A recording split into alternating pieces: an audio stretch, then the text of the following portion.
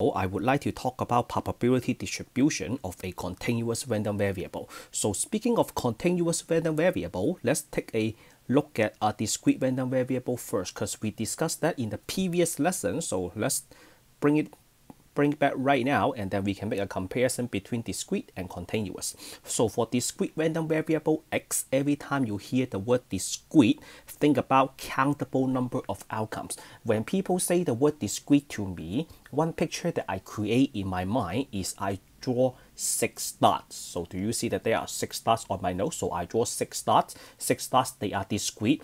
Why they are discrete? Because I can use my finger to count that there are six dots. So what other examples are good for explaining discrete random variable? So first, we roll two fair dice and I let the x be the sum of the two face values. So the smallest face value you can get is 1 plus 1 which is equals to 2.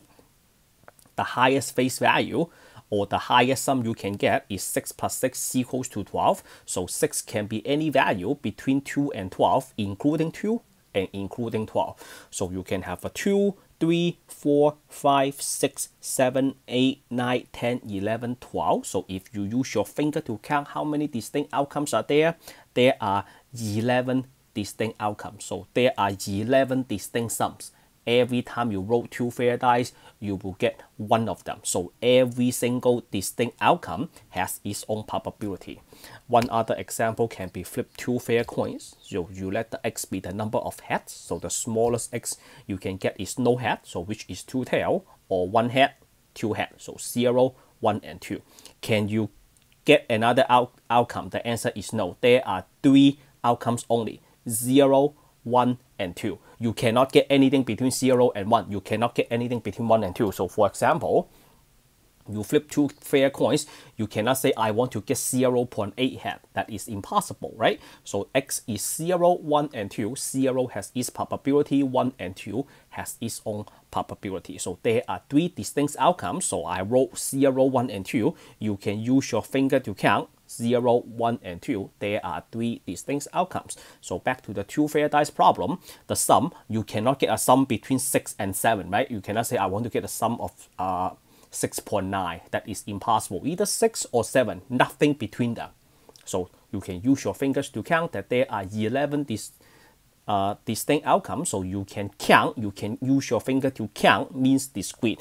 Uh, what about continuous? So discrete is countable, continuous is not countable, which is the opposite of discrete. So for continuous random variable, there are infinitely many outcomes. So infinite outcomes means not countable. So for continuous random variable, one picture that I use all the time is I draw a line. So when people say discrete, I draw six dots. When people say continuous, I draw a line. So in this line, do you see the green line? Can you tell me that how many dots are in there?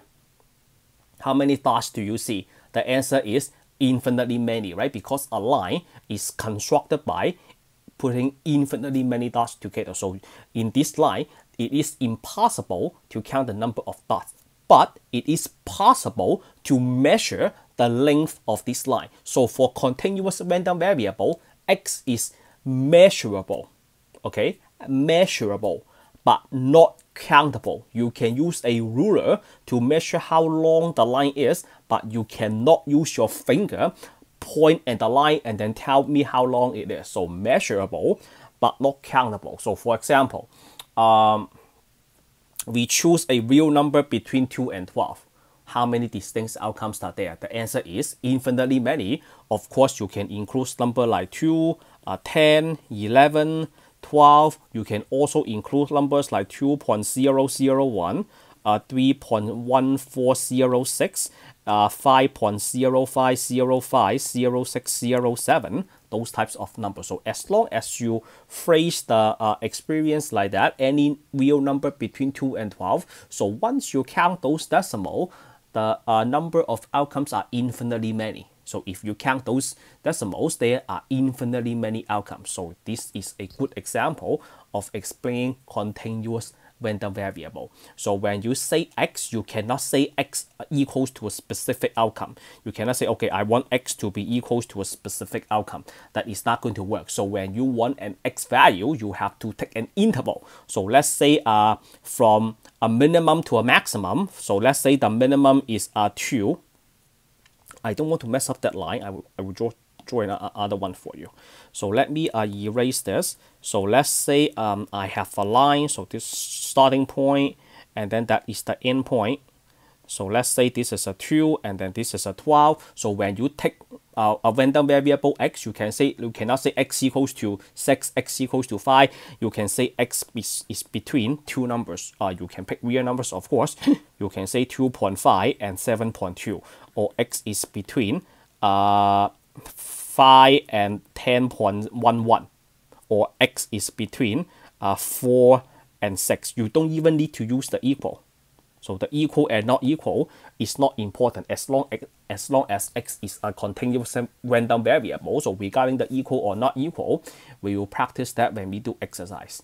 Alright, so other than this comparison, let's talk about linear versus linear equation versus linear function. So what is a linear equation? Equation means we have a left-hand side equals to a right-hand side.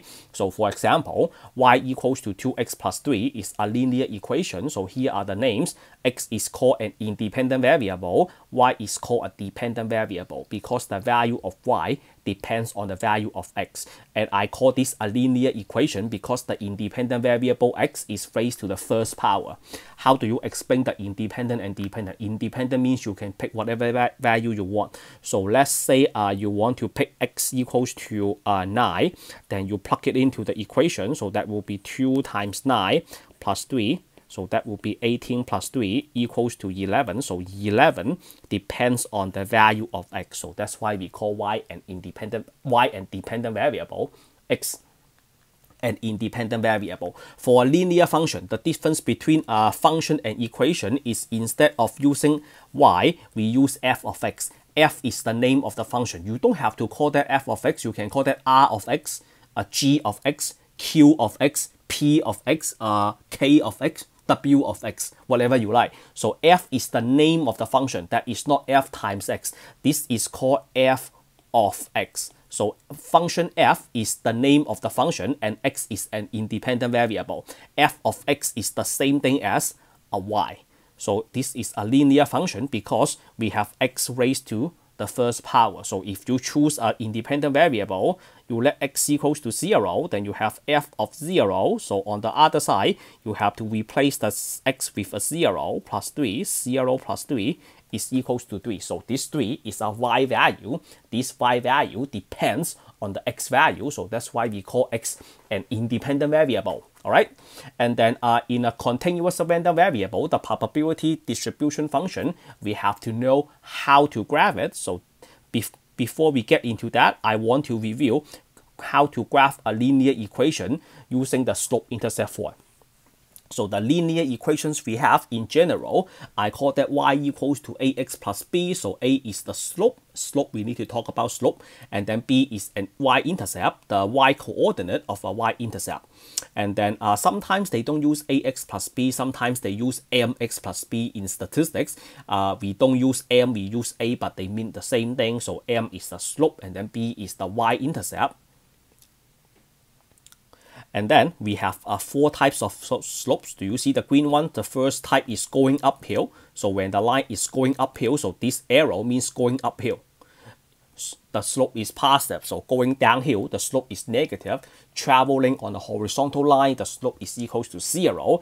And then the vertical line means the slope is undefined. So uh, in, in this chapter, we will focus on the horizontal the zero slope. So we have uh, four functions right here. So let's graph them. I will show you how to graph them. This is only a review. So you are taking a statistic class. You should know how to graph a linear function or a linear equation. This is from your prerequisite, but since we have to use this, I think it is a good idea to bring it back to give you a brief discussion.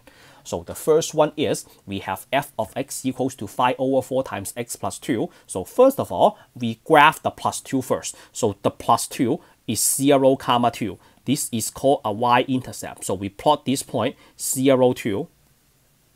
we plot these points first, and then the 5 over 4 is a slope. So the 5 over 4, this is a slope. So we how do we analyze the slope? The slope is equals to rise over run. So rise over 1, past the past means we go up like that. So that means the line is going to look like this after the graph is done. So how do you go rise over 1 in this way? So we run 4 units to the right, and then we go 5 units up. So 2 plus 5 is equals to 7. So that means this will be my reference point. And then to uh, graph this line, all I have to do is I connect these two points. So this is the graph of the given function. Of course, you have you can ex you have to extend this line. Uh, can I get one more reference point? The answer is yes. So for rise over run, you can do the run first. So you can go five units down. So that will be 2. Then that will be a 4, 5. And then you go 4 units to the left. So that will be from 0 all the way to the negative 4. So that gives you another reference point. So you can connect them. So now the line is longer, right? So after the job is done, you can extend this line all the way down and all the way up, please draw an arrow. So this is the graph of y equals to 5 over 4x plus 2. So for the rise over 1, so this is the rise is equals to 5, the run is equals to 4. Is there an, another way to go? The answer is yes. So another way to go is you go this way. You can go 5 units up and then 4 units right. The other point, you can go 5 units left and 4 units down. Just like from point A to point B, there are two different ways to go home you can think about like like that. So that will be the first graph. And then the second graph, I make a typo. I forgot to type the negative. I want to graph negative 4 over 7x minus 3. So let's change to a darker color because uh, it's hard to see.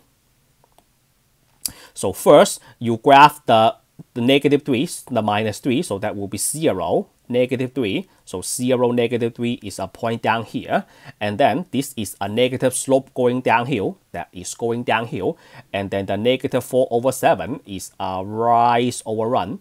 After you finish the line, the line should go downhill. So how do we how, how do we do this? So the rise is 4, the run is 7. So this is how I do it. I will run 7 units to the right and then 4 units down. So that gets to my next reference point. Uh, if you want to go to the left hand side, that, that's fine. You go four units up. So that will be three, that will be four.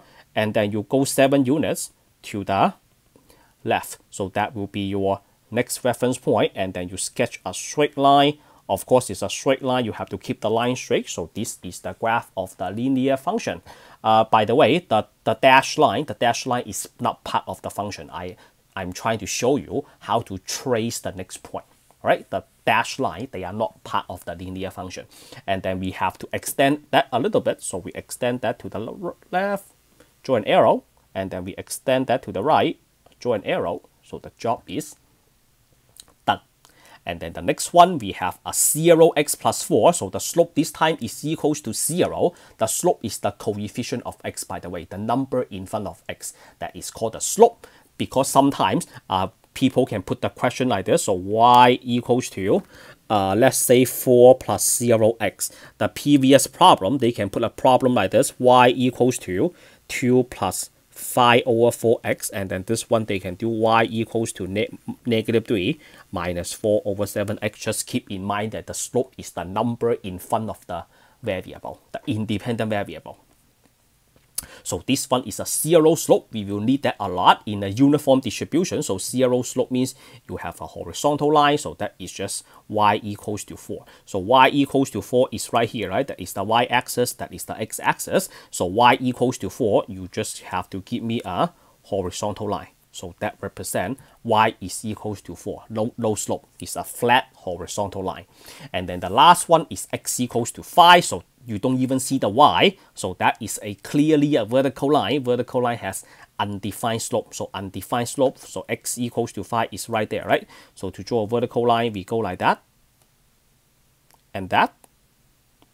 Then there you go, it's a vertical line. So uh, for driving, you can't drive on a vertical line, right? That is impossible. Uh, you can drive on a horizontal line, okay? You just let uh, let the brake go, the car will either move forward or backward, right? just like on a flat line. And then the negative slope, you let the brake go, the line will go downhill. And then uh, for the positive slope, you have you cannot just let the brake go, you have to let go of the brake and then you have to press the gas so the car will go up. All right, so that is the review of the four types of slope. And then in uh, the next lesson, which is a whole uh, uniform distribution, we will need the horizontal line a lot. So I just mentioned the word uniform distribution, uniform distribution. We mentioned that when at the first time when we discuss what distribution is. All right, so uniform distribution. So still remember this histogram.